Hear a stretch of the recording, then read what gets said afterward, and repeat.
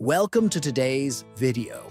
Have you ever wondered where the baking soda in your kitchen comes from? This everyday powder, known scientifically as sodium bicarbonate, is far more than just a simple ingredient in baking. It's also used in cleaning, agriculture, fire extinguishers, and even large-scale industrial processes. Today, we'll explore the fascinating journey of baking soda, from its origins deep in the earth to the many ways it ends up being used in our daily lives.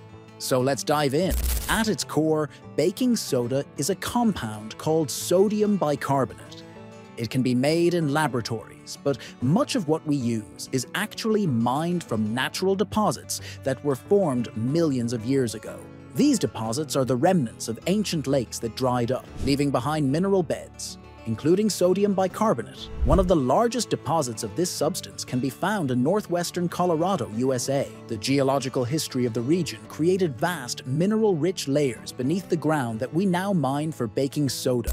Mining baking soda is an impressive feat of engineering and science. The process starts deep underground, where sodium bicarbonate deposits are located. Instead of traditional mining with heavy machinery, companies use a more efficient method. Hot brine, basically water mixed with minerals, is pumped into the earth. This hot solution dissolves the sodium bicarbonate, turning it into a liquid mixture that can be extracted from the ground. One cool thing about this process is that the brine isn't just fresh water, it's actually recycled from earlier mining operations, making the entire process more sustainable.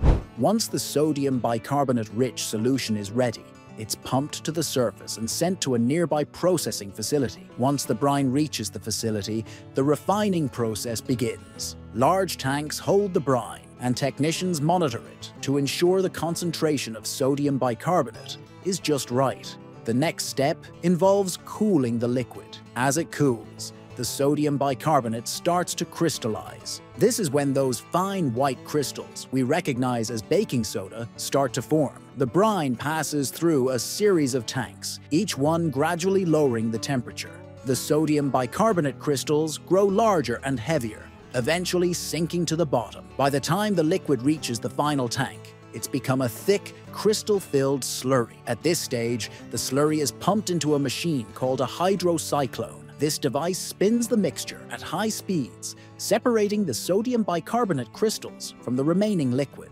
The water, or brine, is expelled, while the heavier sodium bicarbonate crystals are collected. The end result is a thick, white substance that looks a bit like meringue. However, there's still more work to do. This slurry only contains around 40% sodium bicarbonate, so it needs further processing. Next, the slurry is sent into a centrifuge, where it's spun at high speeds to remove even more water. What remains is a substance called wet cake, sodium bicarbonate, that is about 95% pure. To get the product to its final form, the wet cake goes through one last step, drying. The wet cake is mixed with dry sodium bicarbonate powder, which helps to absorb the remaining moisture. Then it's sent through a dryer that removes the last bit of water turning the sodium bicarbonate into the familiar powder that's ready to use. But before it can be packaged, the baking soda is sorted into different grades. These grades are based on the size of the crystals. The powder passes through a series of vibrating screens that separate the crystals by size, ensuring that the baking soda meets the specific requirements for different uses, whether for baking, cleaning, or industrial purposes. Ensuring that the baking soda is pure and meets high-quality standards is crucial. Technicians take small samples of the baking soda, dissolve it in water, and add acid to neutralize it. This allows them to measure the purity of the product. They also use special screening devices to make sure the granules are the right size. Once the baking soda passes these tests, it's ready for packaging. In many production facilities, robotic arms handle the packaging process, filling bags and ensuring precise measurements. For commercial clients, such as bakeries, these bags can contain up to 55 pounds of baking soda. Now, let's talk about where baking soda goes after it's packaged. Of course, we know it's a popular ingredient in baking, helping cakes, cookies, and other baked goods rise. But its uses don't stop there. In agriculture, baking soda is used as a feed additive for livestock. It helps regulate the pH levels in animal feed, which aids in healthy digestion. Its ability to neutralize odors and its mild abrasive properties make it a popular ingredient in cleaning products too.